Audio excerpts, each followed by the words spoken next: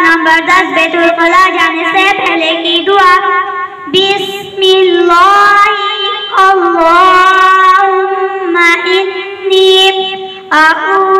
बिका मिनल खुबुसी वल खबाइस तर्जमा अल्लाह का नाम लेकर दाखिल होती हूँ। ए अल्लाह मैं नापाक से तेरी पनाह चाहती हूँ।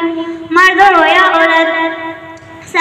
सबक नंबर ग्यारह बेतुल्ला से बाहर निकलने के बाद की दुआ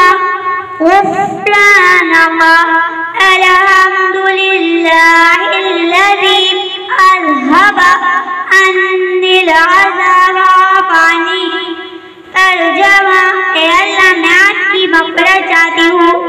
तमाम तारीफ़ अल्लाह के लिए है जिसने मुझसे तकलीफ़ को दूर किया और मुझे आफियत बख्शी।